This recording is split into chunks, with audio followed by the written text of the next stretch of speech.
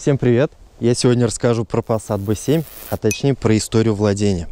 Этот автомобиль у нас 2014 года. Мы являемся вторыми владельцами. Мы – это я и мой отец. Но начиная с 2014 года обслуживанием автомобиля занимался я. То есть я покупал запчасти, я ремонтировал, и у меня, я вот выписал себе список. Конечно, что-то, может, подзабылось, но все, что сохранилось, я вам расскажу. Какие запчасти меняли, цены, наверное, я считаю, смысла нет, потому что цены поменялись а, в два раза, возможно, даже больше. Вот. Расскажу про этот масложор. У нас Volkswagen Passat ассоциируется сразу масложором, да? Как увидели Passat, значит масложор, да? И действительно это так. На этом автомобиле до сих пор присутствует масложор. Покажу салон. Машина 2012 года покупали, как я уже говорил, в 2014 году от первого владельца. На автомобиль на тот момент был пробег 32 тысячи километров. Чтобы вы понимали, машина была прям как с салона. Не то, что там поезженная как будто, да, как новая была машина. А, машина до сих пор в своей родной краске. По кузову тоже есть проблемы, всем известны. То, что краска на этих автомобилях плохо держится в районе арок, а у некоторых даже посередине двери может отваливаться уже краска. Но у нас такого нет. У нас краска отваливается в районе порогов. Вот, а, двигатель тут 1.8, всем известный TSI, бензиновый. Коробка механика, комплектация, как вы видите, по фарам простая. По-моему, называется эта комплектация Comfort Line. Здесь нет ксенонов, сзади нет диодных фонарей, Ходовые огни у нас, опять же, э, встроены э, в бампер вместо основных фар. Но из допов тут установлена магнитола. Магнитола с USB выходом и с большим экраном. Салон в тряпке. В общем, комплектация одна из самых дешевых. Есть еще более дешевая комплектация. Там с двигателем 1.4 у них, насколько я помню, меньше хрома. На заднем бампере, по-моему, нет хрома. И, возможно, вот по краям вот этих хромированных молдингов нет. Точно не могу сказать, но, по-моему, это так. Из того, что тут есть, это датчик дождя, датчик света и подогрев сидений. Все. На сегодняшний день пробег автомобиля 190 тысяч. Хочу начать именно с колес. На 85 тысячах мы купили резину Marshall, и на ней мы до сих пор катаемся. Вот сейчас вставлю фрагменты протектора. Но резину уже надо менять. Скорее всего, на следующий год это мы сделаем. Диски тут ужасные были. Родные литые диски 16 радиуса. Они последние два года, а, мягко сказать, били. На 60 км в час уже тебе не то что на руль отдавал, а уже трясся весь кузов. Ездили, ездили, скрипя зубами, я решил сюда поставить вот буквально на днях новые диски. Вот можете посмотреть, какие крутые я диски поставил. Но, конечно, это не то, это была фотография с интернета. Вот, на самом деле. Поставил я сюда штамповки. Почему штамповки, скажете вы, да, вроде Passat. Тут не будет, как у других блогеров крутых, которые там покупают машины, да, чисто ради того, чтобы сделать какой-то тюнинг и так далее. Я рассказываю вам реальную жизненную ситуацию, потому что э, в машину последнее время пришлось уже вложить, ну, последний месяц, да, пришлось уже вложить там около 40 тысяч рублей. Это вместе с работами, э, с дисками.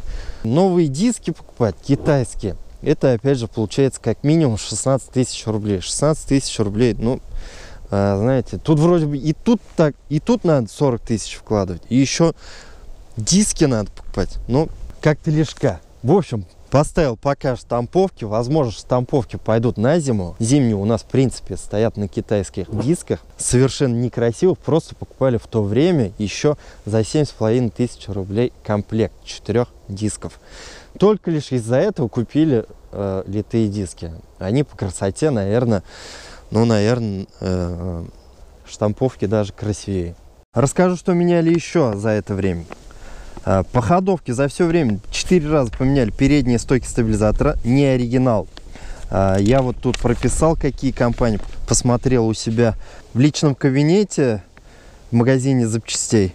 Покупали ТРВ, один раз, компании NK, больше данных нет, вот какие остальные. А, последний раз я покупал Лимфердер. Один раз меняли тормозную жидкость, три раза делали сход-развал. Сейчас еще надо делать э, свечи меняли за все время 4 раза. Последний раз я свечи тут поменял э, где-то год тому назад, после того, как у меня отказали э, модули зажигания модуль зажигания тут 4 штуки. Начинаю разгоняться и загорается чек. А, Причем самое интересное, если ты чуть-чуть нажимаешь на газ, машина вроде бы разгоняется. А если ты нажимаешь уже сильнее на газ, то машина начинает а, как бы а, пропадать мощность, опять на, начинает дергаться. Подумал, что это у меня из строя вышла турбина. Потому что, сами понимаете, турбина это серьезно.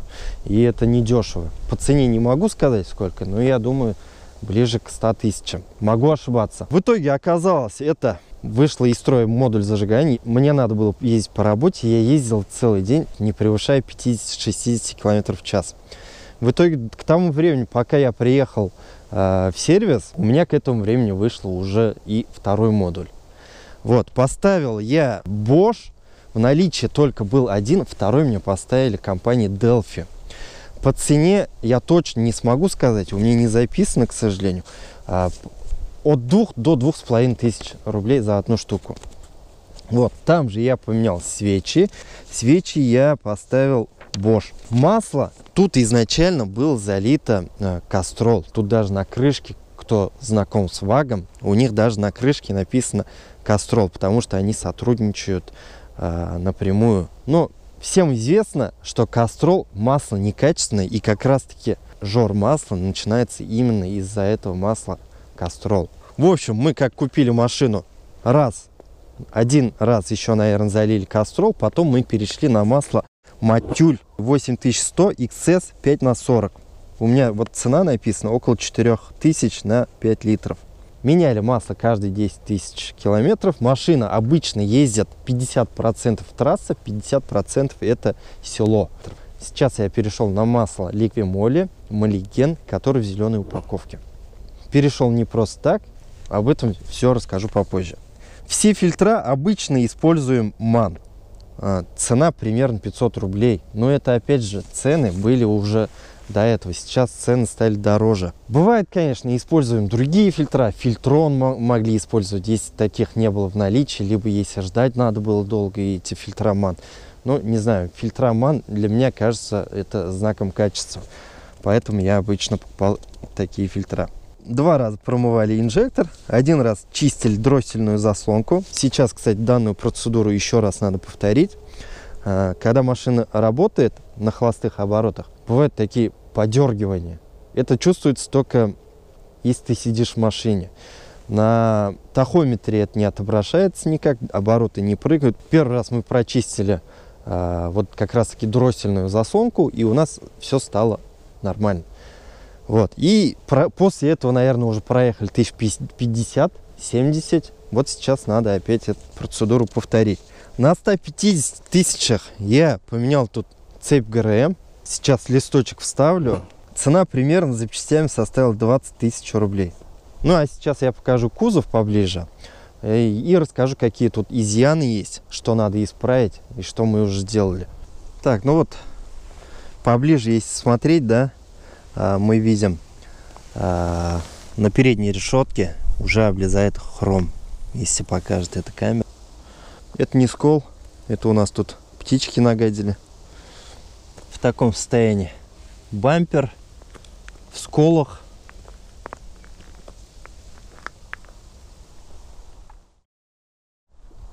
Это резина Marshall. Это от компании Кумха, корейская резина. Мне она лично понравилась. Мягкая, ну и хватило, как видите, на 100 тысяч километров. Ну и вот такой вот остаток. Вот можете посмотреть. Потом мы сюда покупали э, брозговики. Брозговики покупали за полторы тысячи рублей года 3-4 тому назад. Э, и передний и задний комплект стоил полторы тысячи рублей. Как вы можете видеть, их сегодня нет. Вот, мы их поставили. Отъездили на них пару месяцев зимой. А потом от них остались только следы. Вот такие следы мы получили всего лишь за полторы тысячи рублей. А вот тут еще нарисовался у нас скол. Поэтому, если вы собираетесь покупать брызговики, возможно, не обязательно оригинальные нужно покупать. Но все-таки, наверное, нужно покупать их помягче. На заднем бампере тоже также остался след. Проблемные места у автомобиля тут, видите, если эта камера покажет, вот здесь уже вздулась краска на заднем крыле. На передних крыльях и на дверях вроде бы ничего такого замечено не было пока. Потом, если присмотреться, вот тут будет видно царапины. Тут царапина, тут, тут царапина. Вот здесь царапины есть, если это видно. Вот тут на заднем э, фонаре тоже царапина. Это я задним ходом заехал по цепочку. Вечером не увидел. Она вот так вот уперлась сюда куда-то. Потом, видимо, поднялась так. И она, в общем, когда я из машины вышел, лежала вот так. Но я думаю, это все полировкой мы убрать сможем. В прошлом году ко мне в зад приехала машина вот, вот остались вот такие вот следы. Ну и чуть-чуть видно, что э, бампер искривился, если это можно увидеть. Вот тоже тут след оставил.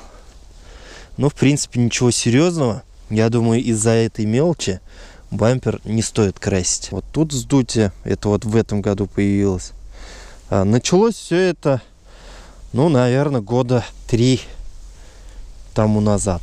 Вот примерно вот так. Вот тут, кстати, вот пошло вздутие. Вот я еще не, уви не видел. Тут э, как бы обычно прямо с краев начинает, а прямо тут вот посередине началось, видите? Мелкие царапины тут, там. Ну, сами понимаете, 8 лет машине. Машина не стояла. На машине мы постоянно ездили, передвигались. Вот, резина с другой стороны. Вот до индикатора еще, наверное, миллиметра 3 осталось. Ну, два, наверное. Зеркало матовое стало. Кто смотрел мой обзор про мой BMW, у меня тоже такая же ситуация. Но тут бампер, э, бампер, наверное, даже выглядит посвежее, в отличие от BMW. Вот тут сколы появляются, но это уже, наверное, на всех машинах. Так. Лобовое стекло тут, кстати, с подогревом. А, но оно у нас чуть-чуть треснуло. Вот попал вот сюда камень, дошла трещина вот до сюда. Мы эту трещину остановили, вроде бы даже залили, но все равно эту трещину видно. Пока не задумывались о замене лобового стекла. Но если менять, я думаю, не оригинальное лобовое стекло стоит около 8-10 тысяч рублей. Оригинальные, понятное дело, эти стекла очень дорогие, там 30 плюс, наверное. Вот такой вот салон. И сразу же нас встречает вот такое вот сиденье на пробеге 190 тысяч километров. Вот это рванье появилось примерно на пробеге 180 тысяч километров. Так что если вы будете смотреть машину Volkswagen Passat на тряпке, имейте в виду, вот это на 100 тысячах не бывает. Видим тут потертости, но еще не порвано. Ремнем мы любим пользоваться. У нас тут в Татарстане без этого никак. Эти заглушки мы не любим использовать, которые некоторые стоят. Вот в таком состоянии руль. Видите, потертости появились по краям.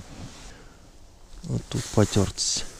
Не сильно, но есть. Причем, если это покрасить, если это покрасить, руль будет, наверное, не скажу как новый, но хороший.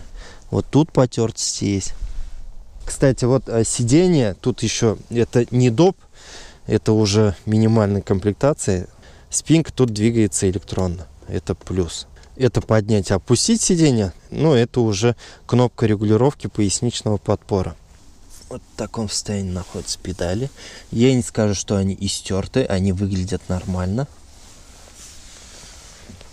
Обратите внимание, даже пленку мы, еще, мы не отдирали, которая здесь стоит с завода. Вот так выглядит салон. Один раз я делал химчистку. Год там назад где-то, наверное.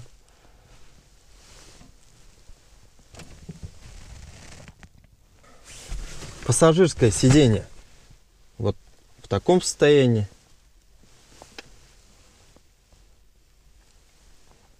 А это у нас сельский тренд для видеорегистратора. Вот так нам и вывели проводку скрытого видеорегистратора. Это было давно-давно, как только купили, наверное, машину в 2014, возможно, 2015 году. Ну, наверняка это мы сами попросили так вывести. Я даже не помню уже. Не знаю, о чем мы думали, когда это делали. Вот эта штука как болталась с 2015 года, так и болтается. Регистратор я даже не помню, был в этой машине или нет. Коробка, как я уже говорил, механика, шестиступенчатая. Очень четко переключается. Очень приятная коробка передач. Особенно после моего Opel. Там переключения настолько неприятные, настолько нечеткие. Вот опять же все познается сравнение. Э, когда я с Opel пересел на Passat, ну имеется в виду, на долгое время пересел на Passat, мне показалось это, это почти как автомат. Ну действительно, очень легко, очень этот Тут, кстати, передачи длинные. Там, если ты на Opel или там у меня Mazda тройка была тоже на механике, а, ездишь по городу, на четвертую воткнул там, ну, на, на 50 уже можно четвертую спокойно втыкать ездить. А тут четвертую тебе приходится втыкать где-то на 70 километров в час. Если ты воткнешь на 50, в принципе, можно, но машина особо не разгоняется. Ну, сами понимаете, турбоямы еще никто не отменял привычка выработалась два раза тянуть рычаг открывания капота, как на BMW, а тут же всего лишь один раз. Все блогеры любят вот этот пневмоупор. Так что вот он тут есть, вот этот пневмоупор. Аккумулятор, кстати, тут стоит родной с 2008 года. Вот. Не менялся. Такое вот подкапотное пространство. Периодически я тут убираюсь, мою, вот, как вы можете видеть, все болты родные, заводские. Нигде ничего не крутилось, не снималось. Злосчастный двигатель 1.8. Говорят, что с 2013 года проблем с масложором уже не было. Переместился в салон автомобиля. На улице у нас что-то сегодня прям очень сильно ветрено. Про масложор. Жор масла до 100 тысяч был примерно 2 литра. После 100 тысяч, где-то до 150 тысяч употребление масла выросло до 4 литров. От 150 до 180 где-то около 5 литров. Возможно, даже чуть больше, 5,5, возможно, даже. Покопался в интернете, начал смотреть отзывы. А, наткнулся на такое видео, как человек сделал раскоксовку, и у него жор масла прекратился. Ну, как прекратился? Не совсем прекратился он просто стал в пределах нормы.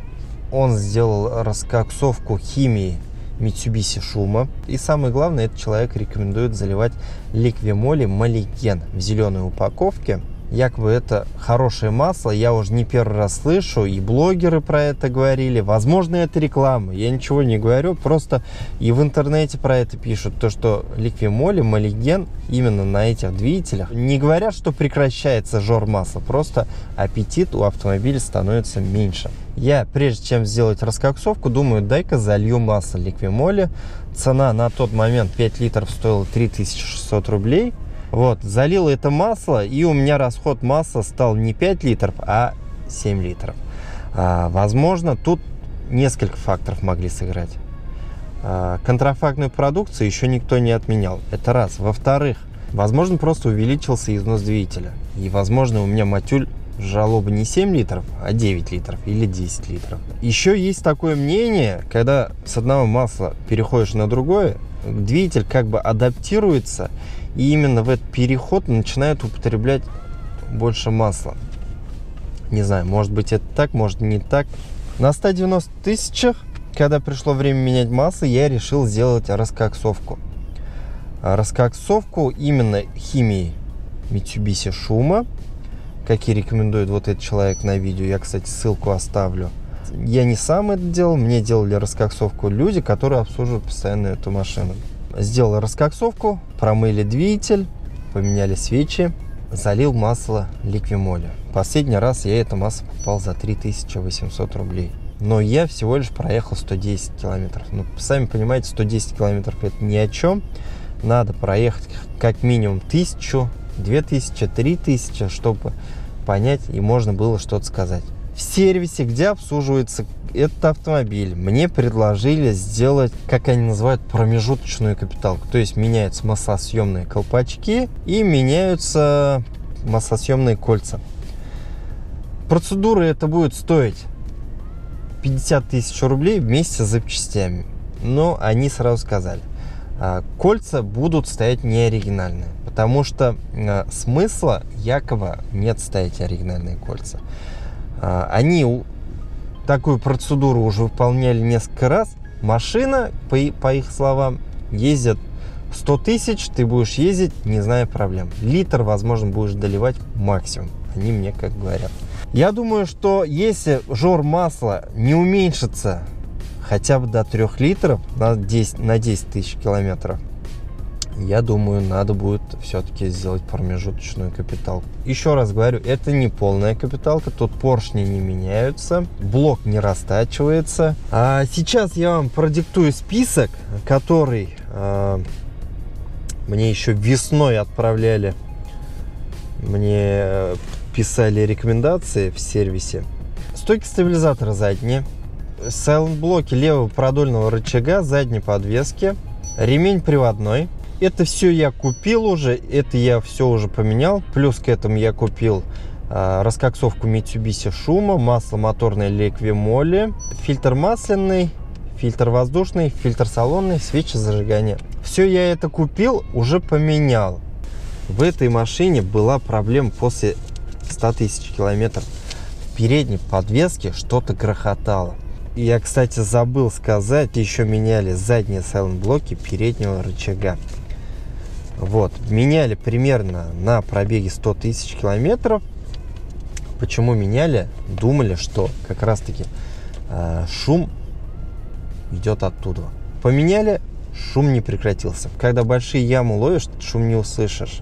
Этот шум появляется именно на мелких неровностях. Например, таких как проезжаешь рельсы. Не сильно, не знаю, лично я этот шум слышу, и он меня очень сильно напрягает. Тем не менее, я так ездил, вот пока ездил на этой машине два года, да, ладно, думаю, заеду, заеду, ну, сами понимаете, вроде ничего не отваливается, как ездил, так и ездишь. Ну, в общем, с этим шумом, я куда только не заезжал, мне этот шум никто не может найти. Я решил э, вот вчера заехать к официальному дилеру.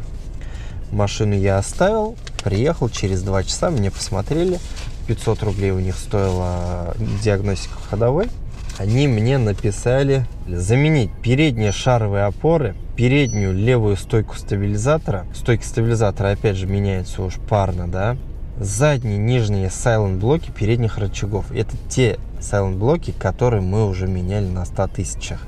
Шум ходовой не прекратился. То есть я уверен, мы их поменяем, но я думаю, все-таки это не из-за этих silent блоков. И одна задняя пружина оказалась у нас сломанной. Почему не увидели в том сервисе, где я обслуживаюсь постоянно? Возможно, и не смотрели, и не заглядывали. В принципе, я им не говорил. Я им просто принес э, запчасть с того списка, с первого, который я вам показывал до этого, и сказал поменять. Диагностику ходовой они, скорее всего, не проводили, и поэтому заднюю пружину они и не увидели я менял еще тормозные накладки по кругу. По кругу поставил бошевские тормозные накладки. Диски, кстати, тут стоят до сих пор родные.